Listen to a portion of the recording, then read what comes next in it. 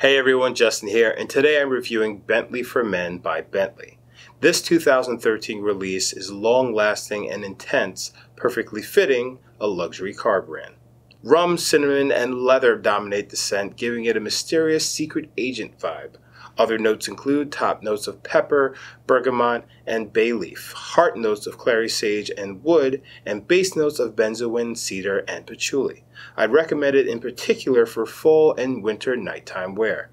That is all for now. I hope you enjoyed this review, and please don't forget to follow Fragrance X on Facebook, Instagram, Twitter, and Snapchat, and please subscribe to our YouTube channel.